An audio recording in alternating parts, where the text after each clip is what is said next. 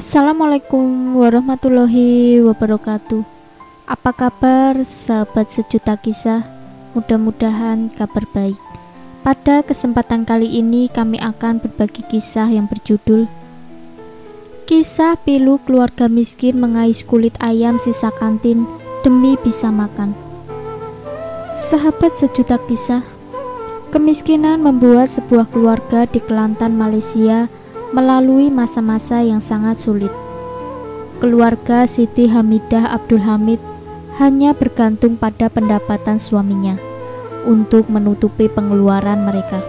Padahal suami Siti yang bernama Muhammad Zuaidi Safin hanya bekerja sebagai buruh. Penghasilan pria 33 tahun itu tidak cukup untuk memenuhi kebutuhan hidup mereka setiap hari. Namun tak lantas mereka berpangku tangan menerima nasib. Untuk memenuhi kebutuhan makan setiap hari, keluarga Siti mengais kulit ayam yang dibuang di sebuah kantin. Meski banyak yang tidak suka, wanita 32 tahun itu mengatakan kulit ayam sekarang jadi makanan mewah atau sekaligus favorit keluarganya. Siti mengaku tidak mampu membeli daging sapi, daging ayam, atau ikan setiap hari karena penghasilan suaminya yang tak seberapa. Beruntung ada kulit ayam yang dia dapatkan dari kantin di dekat sebuah sekolah di Kelantan. Saya merasa sayang dengan kulit ayam yang dibuang oleh kantin tersebut. Apalagi keluarga saya tak mampu membeli daging sapi, daging ayam, atau ikan setiap hari, katanya.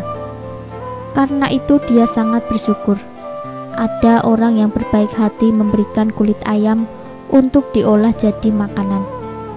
Siti sadar bahwa kulit ayam tidak baik bagi kesehatan, tapi keluarganya tak punya pilihan karena miskin.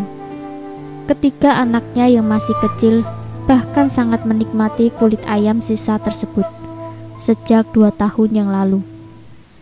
Semua anak saya yaitu Siti Aisyah 8 tahun, Nur Syahidah Nafisah 6 tahun, dan Nur Syafia Nadira 3 tahun. Suka makan kulit ayam sejak 2 tahun lalu, katanya.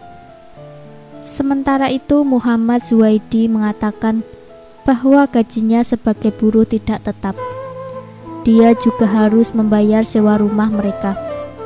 Meskipun rumah yang disewa sudah reot, Muhammad Zuwaidi tetap harus membayar uang sewanya sekitar 100 ringgit atau sekira 341 ribu sebulan. Yang paling penting adalah keluarga saya bisa makan dan tetap sehat, katanya. Muhammad Zuhaidi berharap keluarganya bisa punya rumah sendiri suatu hari nanti. Jangan lupa nantikan kisah terbaru dari kami. Sampai jumpa. Wassalamualaikum warahmatullahi wabarakatuh.